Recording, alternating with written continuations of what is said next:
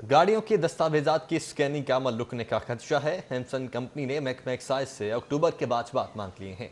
Project director हेमसन company ने महकमा excise को खत लिख दिया है।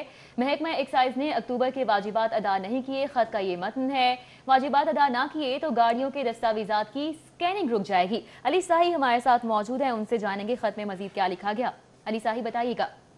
जी बिल्कुल करोड़ों अरबों रुपए का टैक्स इकट्ठा करने वाला महकमा एक्साइज के जो अपने मामला हैं वो इंतहाई क्राइसिस का शिकार हैं। शहरियों से गाड़ियों के रजिस्ट्रेशन के मौके पर फ़ीस वसूल करने के बावजूद मुतल कंपनी को जो वाजबात हैं वो अदा नहीं किए जा रहे। जिसकी वजह से उनकी जानब से मरासला भिजाया गया है कि अगर गुजशत दो माह के उनकी पेमेंट ना की गई तो उनकी जानब से स्कैनिंग रोक दी जाएगी। अगर स्कैनिंग रोकी जाएगी तो जितनी भी गाड़ियाँ और मोटरसाइकिलें रजिस्टर्ड होंगी तो उसका महकमा एक्साइज के पास स्कैनिंग की सूरत में तमाम डाटा इकट्ठा होता है। तो उस जो अरसा में जिसमें स्कैनिंग जाएगी। वो तमाम का तमाम रिकॉर्ड जो है वो पेंडिंग हो जाएगा और वो महकमा एक्साइज के सिस्टम में नहीं आएगा।